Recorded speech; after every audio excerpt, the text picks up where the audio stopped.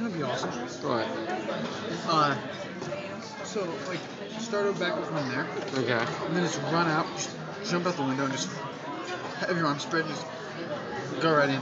Jump into the river. Yeah. That, that's a great idea. Actually, looking at like a gravitational acceleration, go on the roof and do it.